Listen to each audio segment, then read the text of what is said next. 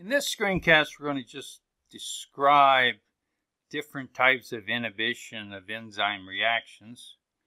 And then in other screencasts, the rate expressions for these different types of reactions will be derived. So let's start. What we're looking at is an enzyme reacting with a substrate to make a complex. And then this complex can further react to recreate the enzyme. So essentially, enzyme is a catalyst, and to make the product. So the net reaction is the substrate going to the product.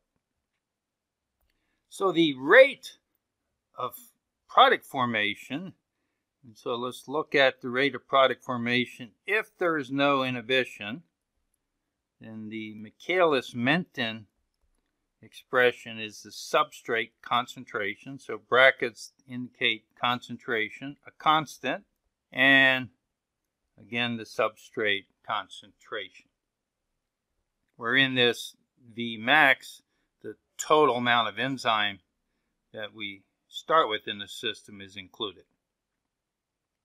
So let's look at one type of inhibition, and that's if the enzyme can react with an inhibitor so reversible reaction to make a complex.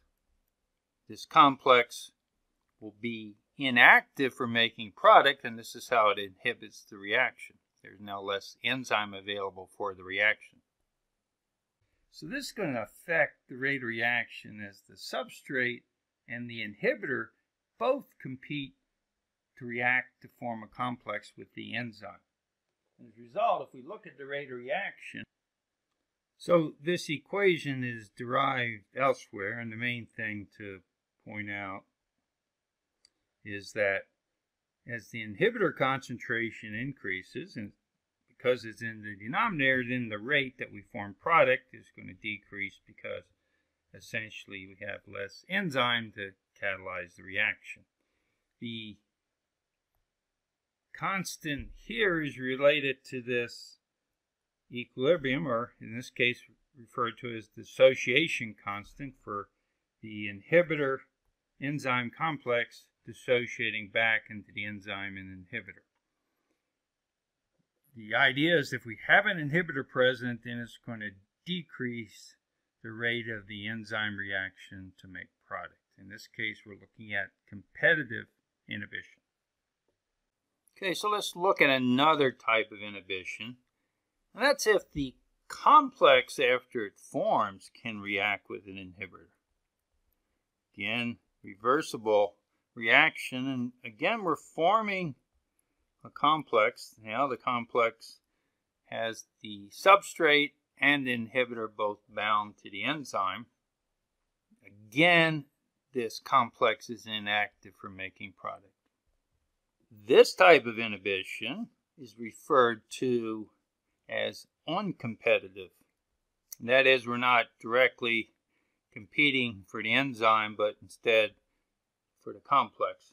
And so the rate expression for this, and I'll again write it down so we can compare it to the others. So notice a similar format, but different rate expression.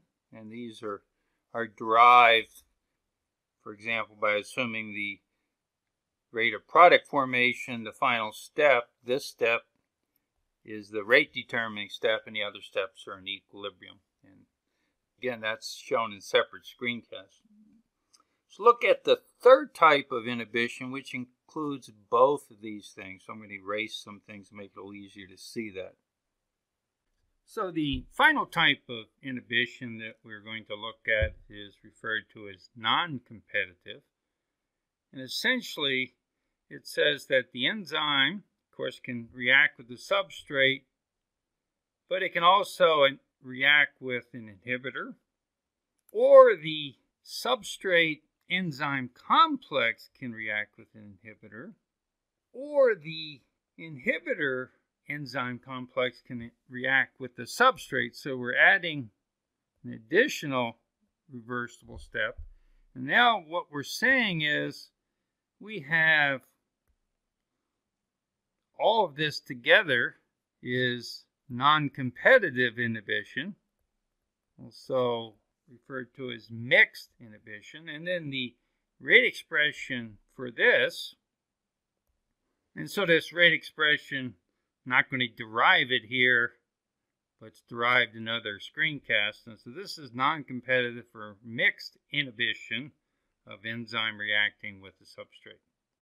So we've looked at the different behaviors and then as you can see from the rate expression, they're going to show different behaviors as we change the inhibitor concentration or as we change the, the substrate concentration.